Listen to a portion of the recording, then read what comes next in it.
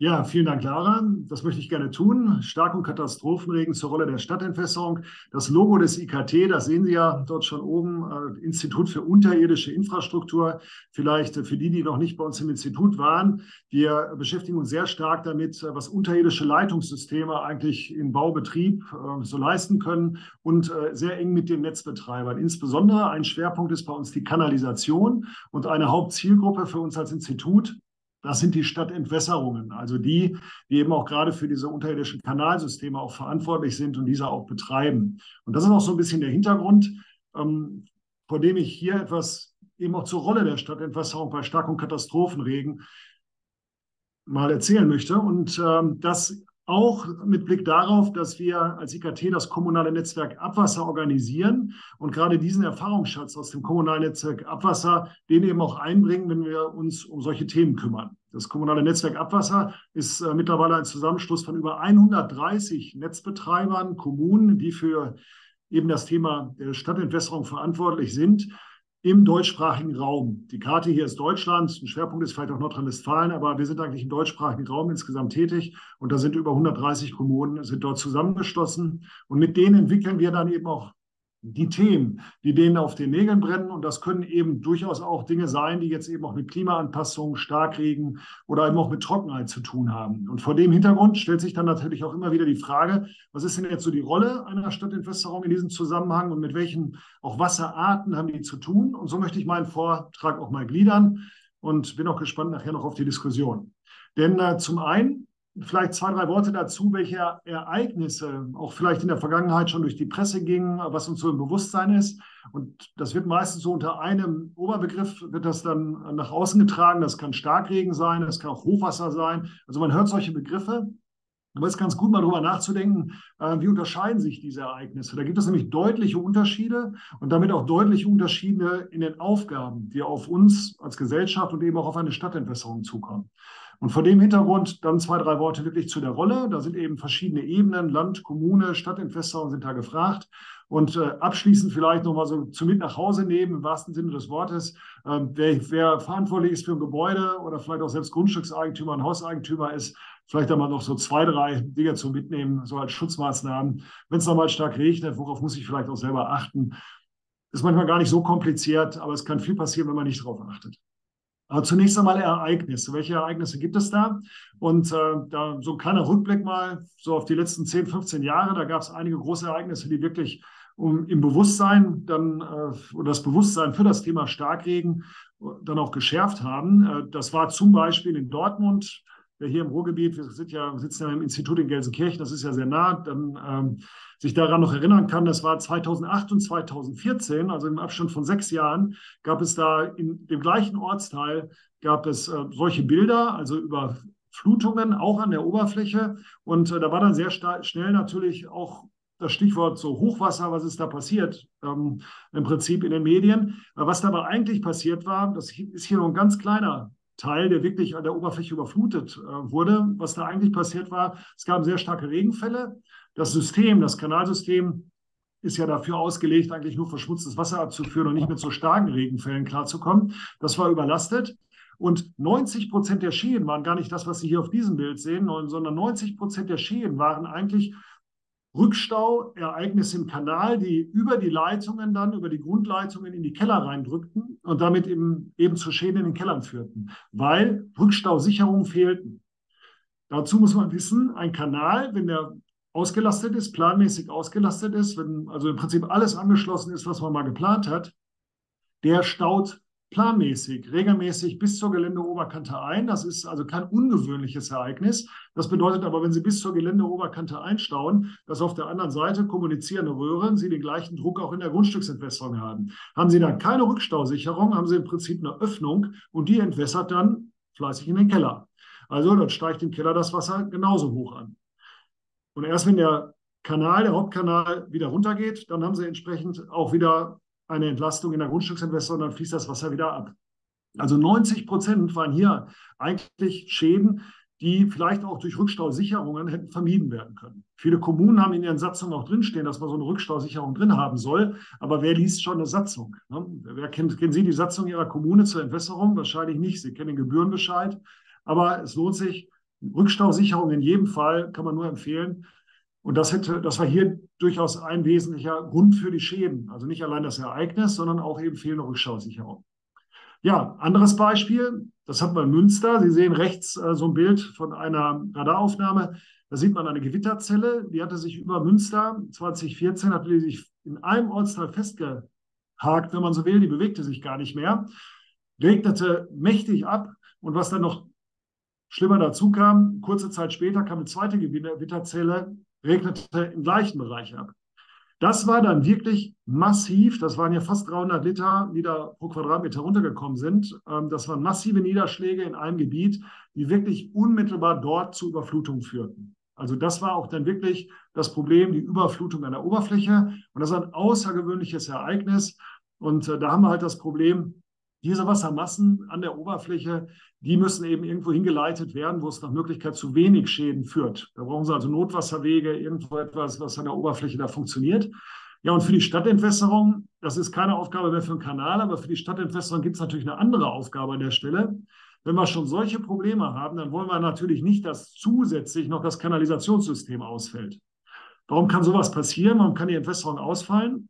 Sie sehen hier zum Beispiel mal, das ist ein Graben, Entwässerungsgraben, und da haben Sie solche Durchgangssperren. Da sollen ja keine spielenden Kinder reinlaufen können, und, sondern äh, das ist entsprechend gesperrt.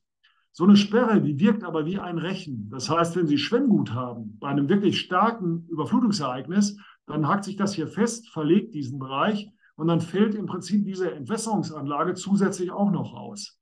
Also hier die große Aufgabe halt eben für Entwässerungsbetriebe. Man sollte checken, dass die eigenen Anlagen so robust sind, dass es da nicht zu solchen zusätzlichen Problemen kommen kann. Nächster Schritt ist dann der, es passiert gar nicht mehr in dem Ort, so wie Münster, dass es also in dem Ort regnete stark, sondern es kommt eigentlich aus anderen Bereichen. Und da haben wir hier dieses Beispiel. Ähm, Baden-Württemberg waren da ja die ersten großen Fälle, die auch groß berichtet wurden, wo dann in Braunsbach zum Beispiel eine ganze Sturzflug aus dem Gebiet drumherum, also quasi aus dem Flusseinzugsgebiet schon kleinerer, kleinerer Fluss, aber im Prinzip dort sich das Wasser sammelte. Da gab es auch Rücksteuereignisse, da brachen dann quasi wie Dämme dann auch solche ähm, rückgestauten äh, Bereiche und das Ganze ja, ergoss sich dann mit Geröll und Geschiebe dann in ein so kleines Dorf, kann man im Prinzip sagen. Und äh, das ist natürlich dann wirklich Wasser, das aus anderen Bereichen in einen Ort reinbringt. Das Problem können Sie also nicht in dem Ort lösen, sondern das muss eigentlich an anderer Stelle gelöst werden. Ja, und sowas ähnliches, das haben wir, hier sehen Sie nochmal ein Bild, dann nochmal aus Brausbach. Also wenn ich von Geschiebe und ähnlichem spreche, da kann also einiges mitgerissen werden, wenn es große Wassermassen sind. Die haben auch große Kraft. Und wir haben natürlich hier in Nordrhein-Westfalen und auch in Rheinland-Pfalz gerade 2021 ja auch ein Großereignis gehabt, das ja immer noch Nachwirkung hat. Und äh, da erinnern wir uns, das ist ja das berühmte eben, die meisten sagen, an der A ist das passiert, aber es war ja in einer größeren Region. Und äh, was war da passiert? Es gab im Prinzip einen Dauerregen, das ist als solches nicht weiter schlimm, nur wir haben eine Vorsättigung gehabt dann des Bodens, also die, der gesamte Boden in diesem Bereich, der war schon gesättigt und dann versickert der nicht mehr so viel. Da geht quasi, sie haben halt den schon komplett wie ein Schwamm aufge, ähm, den Schwamm hat er sich aufgesogen, der ist nass. Dann haben sie große Oberflächenabflüsse. Hinzu kam äh, das Gelände dort in dem Bereich eben sehr enge Täler, steile auch entsprechende äh, Hänge. Und dann haben sie, wenn es da zu Abflüssen kommt und da so ein Dauerregen sich festsetzt, dann über lange Zeit, da haben sie dann große Abflüsse und auch große Wassertiefen. Das führte dann eben auch zu erheblichen Zerstörungen und äh, auch dann am Ende des Gebietes, das sehen Sie hier zum Beispiel auch zu eben auch solchen wirklich äh, großflächigen Überschwemmungen. Das Problem hier, das ist jenseits dessen, wofür Sie technische Anlagen auslegen können. Also da geht es nicht mehr um die technische Anlage in dem Fall, sondern da geht es im Wesentlichen darum, wie Sie bei so einem Ergebnis überhaupt wieder in einen äh, quasi vernünftigen Zustand zurückkehren können. Also das Zurückkehren, die Resilienz und vorher natürlich auch das Warnen und das Retten. Also Warnen, Retten und auch die Resilienz, also das wieder zurückkommen können in einen funktionsfähigen Zustand nach, nach einem solchen Ereignis, denn Sie haben ja massive Zerstörungen dort. Äh, das ist eigentlich eine ganz wesentliche Aufgabe, um die es da geht. Und gerade bei dem Thema Resilienz, das haben wir sehr intensiv mit dem kommunalen Netzwerk Abwasser auch diskutiert. Gerade da zeigte sich, dass gerade Entwässerungsbetriebe häufig nur angesprochen wurden als Helfer. Also im Prinzip im Ort selber, wo das passierte, äh, wurde der Entwässerungsbetrieb dann noch gefragt, ob er noch unterstützen kann mit irgendwelchen Punkten zum Beispiel. Aber das ist ja gar nicht also der ist ja selber Opfer in dem Moment. Die eigenen Anlagen sind ausgefallen, der braucht eigentlich selber Hilfe. Und wir haben da zum Beispiel mit dem kommunalen Netzwerk Abwasser dann Hilfe organisiert aus anderen Bereichen, in diesem Fall aus Nordrhein-Westfalen, die eben nicht betroffen waren. Und äh, das waren echte Hilfseinsätze, um möglichst schnell die Entwässerung in den Gebieten wieder in einen funktionsfähigen Zustand zu bringen. Das ist sehr, sehr wichtig, denn sonst, wenn die nicht funktionsfähig sind, führt ein folgendes, viel geringeres Ereignis wieder zu katastrophalen Zuständen. Sie brauchen also möglichst schnell auch wieder funktionierende Entwässerungseinrichtungen. Ja, typische Bilder aus diesen Einsätzen sehen Sie hier. Da sind also Kanalreinigungsfahrzeuge aus anderen Städten dann hingefahren, haben geholfen, Abwasserkanäle zu reinigen, die natürlich verschlammt waren. Und äh, bei den Vororteinsätzen wurde dann auch deutlich, dass auch Daten zu haben über das Netz eine ganz wichtige Geschichte ist. Ähm, das hilft wenig, wenn Sie alles digitalisiert äh, im Keller des Rathauses haben und dann gibt es so ein Ereignis und der Server ist weggeschwemmt. Also wir haben da zum Beispiel gesehen, es ist unglaublich wichtig, dann eben auch noch alternativ nach Möglichkeit ganz weit weg vom eigentlichen Ort noch äh, Zugriff auf Daten zu haben oder Papierausdrucke. Ganz simple Geschichten, dass wir irgendwas haben, wenn alles zusammenbricht, um sich überhaupt noch orientieren zu können und auch entsprechende Maßnahmen dann auch mit den Hilfskräften auch organisieren zu können. Ja, ähm, dann gibt es natürlich auch das Hochwasser. Und ich betone das jetzt so, weil äh, der Begriff häufig durcheinander geworfen wird. Da steht irgendwo im Keller das Wasser hoch und dann sprechen alle von Hochwasser.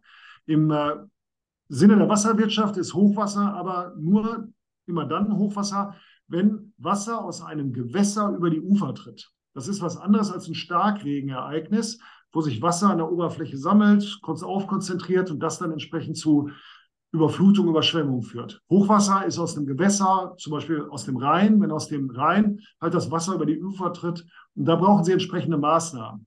Äh, und da muss es auch gar nicht in Köln regnen, damit Sie in Köln dann entsprechend so eine Wand aufbauen müssen. Da ist entscheidend, dass im Gewässer selber halt sehr, sehr viel Abfluss beobachtet wird und der eben so groß wird aus ganz anderen Gebieten, aus riesigen Flusseinzugsgebieten und dann entsprechend ähm, da auch man sich schützen muss. Das sind dann so mobile Schutzwände zum Beispiel.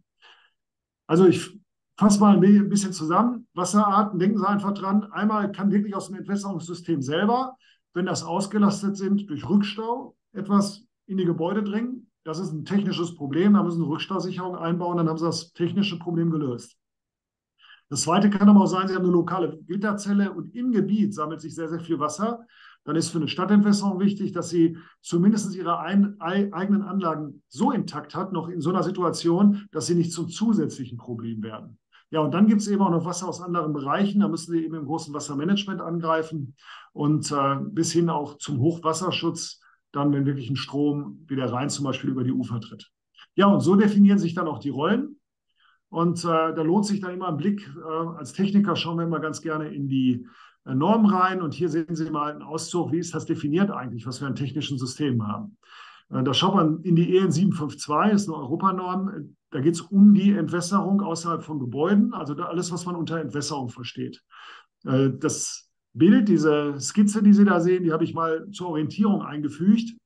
Sie stellt das dar, was Sie oben in dem Text sehen. Denn äh, eigentlich gibt es drei Ebenen. Sie haben technisch, haben Sie erstmal ein System aus Abwasserleitungen und Kanälen. Das ist das, wofür der Abwasserbetrieb verantwortlich ist. Und das ist die Abwasserbeseitigung. Ähm, da sollte man auch wirklich im Hinterkopf halten, Abwasser, das ist, also Niederschlagswasser, Regenwasser ist dann Abwasser, wenn es im Prinzip von befestigten Flächen abfließt und Schmutzstoffe mit sich bringt. Also Ganz wichtig, die Kanäle sind eigentlich gebaut, um verschmutztes Wasser abzuführen und einer Reinigung zuzuführen oder eben einem leistungsstarken Vorflut, hätte man früher gesagt. Also wir brauchen die Kanäle, um das Wasser zu, reinigen. Zu reinigen. Das ist ein Qualitätsproblem. Und deswegen, das, was häufig abgeschwemmt wird, von den Straßen zum Beispiel, was also ständig mit Regen abgeschwemmt wird, diese Frachten, die wollen wir in einem Kanal sammeln und wollen das Ganze reinigen. Da geht es weniger darum, dass man seltene Regenfälle abführen will. Dafür ist die Kanalisation nicht ausgelegt, sondern es geht um häufige Regenfälle, die viele Schmutzstoffe mit sich bringen. Und das ist der Abwasserbetrieb. Der betreibt dieses System aus Abwasserleitungen. Darüber steht dann im Prinzip das kommunale Entwässerungssystem, denn die Abwasserleitungen sind nur ein Bestandteil des kommunalen Entwässerungssystems. Und dazu gehört eben alles, was zum Management von Regenwasser eben auch im Siedlungsgebiet erforderlich ist. Und da geht es eben auch um den Oberflächenabfluss. Das ist das, wofür auch die Kommune verantwortlich ist. Ja, und dann haben wir eben auch noch zum Beispiel das Land- oder Wasserverbände für das Wassermanagement in einem größeren Einzugsgebiet. Das sind in der Regel ganze Flusseinzugsgebiete. In Nordrhein-Westfalen kennen wir das zum Beispiel. Da sind das die sondergesetzlichen Wasserverbände, zumindest in der Hälfte von Nordrhein-Westfalen. Da gibt es noch weitere natürlich Wasser- und Bodenverbände in anderen Bereichen. Aber die sind in der Regel dann für ein Einzugsgebiet. Zum Beispiel der Ruhrverband kümmert sich um das Einzugsgebiet der Ruhr und der NIAS-Verband um die NIAS. Und so haben wir eben unterschiedliche Verbände, die sich dort ähm, ja, dann äh, eben da engagieren und dieses Wassermanagement dort auf die Beine stellen. Ja, und jetzt kommt natürlich eine ganz besondere Geschichte, wenn Sie mit den Bürgern sprechen, dann haben Sie häufig ein Missverständnis oder ein Problem vielleicht. Es gibt viele Abwasserbetriebe, die nennen sich Stadtentwässerung. Ja, und es ist dann wenig verwunderlich, dass ein Bürger meint, dass die Stadtentwässerung die Stadt entwässert. Ist ja klar, ne? die heißt ja so. Stadtentwässerung entwässert die Stadt. Häufig ist die Stadtentwässerung aber der Abwasserbetrieb. Und die meinen damit, wir betreiben ein System aus Abwasserleitungen und machen das, wofür auch Abwassergebühren gezahlt werden. Wir sammeln das verschmutzte Wasser und reinigen es. Eben auch das verschmutzte Regenwasser. Aber was darüber hinausgeht, also was an der Oberfläche abfließt und worum man sich dann eben bei einem vielleicht auch Starkregenereignis dann auch kümmern muss, ja, dafür sind wir gar nicht zuständig. Das können wir auch gar nicht über Abwassergebühren finanzieren. Und da sind wir dann eben genau in der Frage, und das ist eine sehr aktuelle, ähm, Wer ist dann verantwortlich? Das ist die Kommune, aber wie wird das denn dann finanziert? Also wer kümmert sich und wer kann auch bezahlen, was wir an Starkregenmaßnahmen an der Oberfläche brauchen? Das ist eine spannende Frage und das wird in den Kommunen auch sehr unterschiedlich diskutiert. Man hat natürlich so eine Grauzone, wo man manche Sachen noch als Abwasser auslegen kann. Dann kann man bestimmte Maßnahmen auch noch machen. Aber irgendwann gibt es eben auch Maßnahmen, wo ganz klar ist, das hat jetzt mit Abwasser nichts mehr zu tun. Das ist schlichtweg eine Regenmanagementfrage an der Oberfläche. Und äh, ja, das muss halt eben auch organisiert werden, denn die, das Schadenspotenzial ist halt gewaltig. Für die Kommunen in unserem Netzwerk ähm, war es ganz wichtig, auch mal zu formulieren, was sind so unsere Leitsätze. Und das ist eben klar, der Kanal ist Teil eines Entwässerungssystems. Und äh, gerade als Stadtentwässerung muss ich natürlich Abwasserbetrieb die Kanalfunktion bei Wetterextremen auch sichern. Das soll nicht zum zusätzlichen Problem werden. Aber wir sind natürlich Kompetenzträger und helfen der Kommune dabei, die Wasserprobleme zu lösen. Also diese Bereitschaft mitzuwirken ist natürlich da bei den Abwasserbetrieben, aber sie können es halt eben nicht selbst machen und auch nicht finanziell tragen. Ja, und was den Bürger angeht, ist immer wichtig, der Bürger muss auch informiert sein, er muss wissen, was passiert da, wie sieht es aus, muss ich, kann ich mich selber auch schützen, Objektschutz, also meine eigene im Prinzip Anlage, mein eigenes Haus auch schützen, welche Möglichkeiten habe ich da. Also der Bürger sollte möglichst früh auch informiert werden darüber, wo Risiken auftreten können. Ja, und dann gibt es natürlich das ganze Thema noch bei den wirklichen Katastrophenregen, also da, wo man technisch gar nichts machen kann, da geht eigentlich nur noch frühzeitig erkennen, also Pegel haben, frühzeitig erkennen, was kommt uns zu, Warnungen, Meldeketten, das muss natürlich auch organisiert werden. Und da ist natürlich sehr stark dann auch zum Beispiel das Land auch dann äh, in der Verantwortung, macht da ja auch sehr viel, da werden ja auch äh, wirklich ganz, ähm, ganz stark eben auch diese Informationen verknüpft. Ja, wo, wo erkenne ich, wo Risiken sind? Das sind die berühmten Starkregenkarten oder Starkregengefahrenkarten. Hier sehen Sie mal ein paar Beispiele. Das können Sie meistens bei den Kommunen runterladen. Die werden auch äh, veröffentlicht, stehen allen zur Verfügung. Es gibt auch noch auf der Landesseite etwas entsprechendes, das zeige ich gleich noch. Ähm, was man hier vielleicht inhaltlich unterscheiden sollte, es gibt zwei grob, grob zwei Typen von Karten. Das eine ist allein aus der Topografie also wo es höher ist, wo es tiefer ist, wo sie Senken haben, ermitteln sie im Prinzip, wo Wasser sich ansammeln könnte. Das sind äh, dann im Prinzip Fließwege, die Sie sich anschauen und sagen, ich habe bestimmte Bereiche, da könnte sich Wasser ansammeln. Ich habe andere Bereiche, da habe ich aber wenig Risiken. Und dann der zweite Schritt ist dann der, dass Sie sagen, da wo sich Wasser ansammeln können, da machen wir wirklich eine hydraulische Berechnung. Wir rechnen mal Szenarien durch. Also lassen das quasi mal in einem Modell beregnen und schauen, wie strömt das Wasser und welche Wasserstände stellen sich wirklich an. Das ist so, was wir links oben zum Beispiel sehen. Also es gibt zwei unterschiedliche Arten. Man geht erstmal groß im Gebiet ran, schaut sich die Fließwege an und dann guckt man, da wo was passieren kann, was passiert da hydraulisch.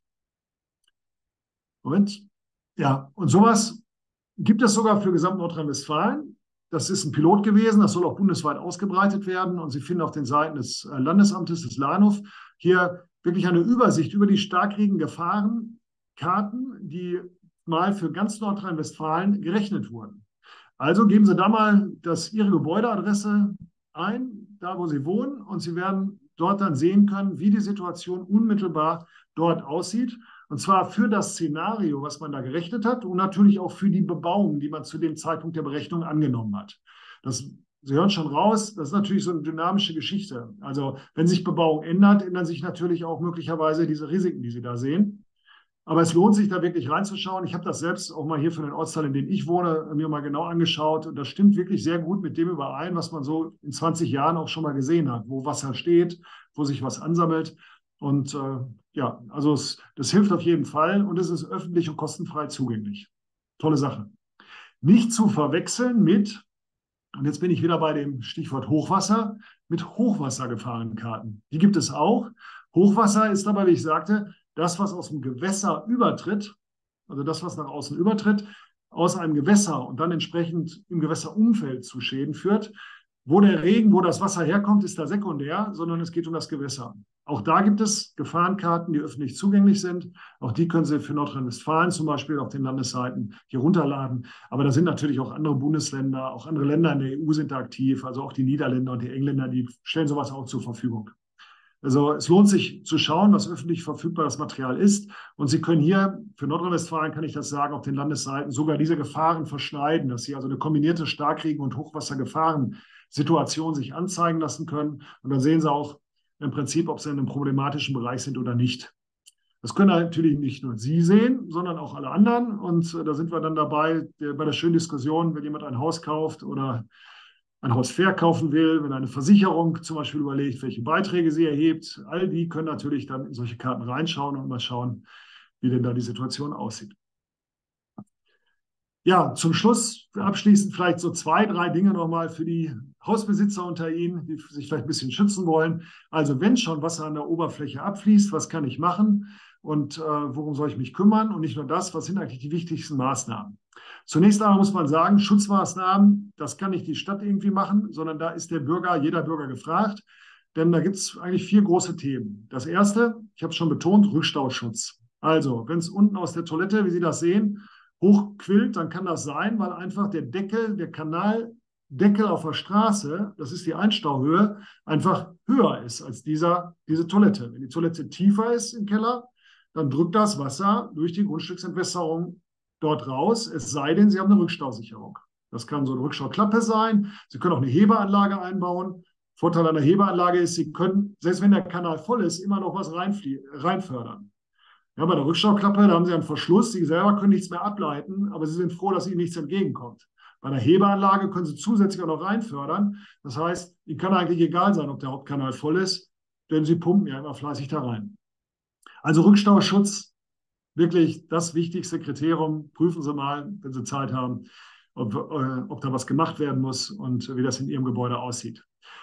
Dann kommt aber Wasser nicht nur aus dem Kanal, sondern es kann über die Oberfläche natürlich zum Gebäude fließen. Und da gibt es relativ einfache Maßnahmen. Rechts oben sehen Sie da so ein Beispiel. Ähm, zum Beispiel, wenn Sie einen Einlauf an einem Lichtschacht haben zum Keller, eine kleine Abmauerung drumherum, die hilft schon, dass zumindest, wenn es geringe Abflüsse sind, aber, der, aber Wasser auf der Oberfläche steht, dass Ihnen nicht der Lichtschacht voll läuft. Ja, und schließlich, und ist es natürlich auch so, Sie können sich nicht gegen alles schützen, also das Wasser reinläuft, dann sollte man zumindest daran denken, dass man eine Schadensminderung betreibt. Also angepasste Kellernutzung, ne? nicht das Studio im Keller mit Elektrogeräten, sondern da vielleicht ein bisschen weniger. Und äh, natürlich, das Letzte ist dann immer noch Verhalten in der Gefahrensituation. Also bitte nicht, denken Sie dran, Sie haben Stromkästen im Keller und ähnliches. Wenn da Wasser steht, nicht unbedingt reinlaufen, da kann Stromfluss sein. Türen, die sich hinter, die, die kriegen sie nachher nicht, nicht wieder auf. Wenn sie im Keller sind und da kommt, ist Wassermasse, dann kann sein, dass Wasser drückt und sie kriegen die Tür nicht mehr auf. Sie kommen da gar nicht mehr raus. Also da gibt es Gefahrensituationen noch und nöcher. Also Vorsicht, wenn irgendwo was voll Wasser läuft, nicht da reingehen. Und jetzt hier noch kurz die Übersicht. Also hier sehen Sie Lichtschächte, können Sie höher ziehen. Druckdichte Fenster, wenn Sie schon in Lichtschacht Wasser reinlaufen lassen, druckdichtes Fenster. Oder auch so ein Klapp, so ein Shot, Klappshot, dass man schnell hochklappen kann und damit kein Wasser durch die Tür reinlaufen kann. All das sind Möglichkeiten. Denken Sie an die Kellerabgänge, auch da ein bisschen hochziehen, dass das Wasser nicht so direkt schon in den Keller reinlaufen kann. Also eine ganze Menge. Das war eine schnelle Übersicht. Ich sehe schon, ich bin mit der Zeit auch durch. Und deswegen lade ich Sie ein, jetzt gleich zur Diskussion natürlich. Ich freue mich aber auch, wenn Sie im Nachgang mich kontaktieren wollen. Da sehen Sie meine Kontaktdaten. Und natürlich unser Institut. Ich habe ja eingangs gesagt, wir haben Versuchseinrichtung im Maßstab 1 zu 1, um Bautechnik nachzuempfinden. Wir bauen gerade eine Starkregenanlage, wo wir Starkregensimulationen durchführen werden. Also ist es ein Besuch wert. Sie sind herzlich eingeladen. Schauen Sie sich uns, unser Institut ruhig auch mal mit eigenen Augen direkt an. Ich habe jetzt mal keine Bilder davon gebracht, weil ich nur 20 Minuten habe, aber ich lade herzlich ein, sind jederzeit gerne bei uns gesehen als Gäste und wir schauen uns das dann mal an. Dankeschön.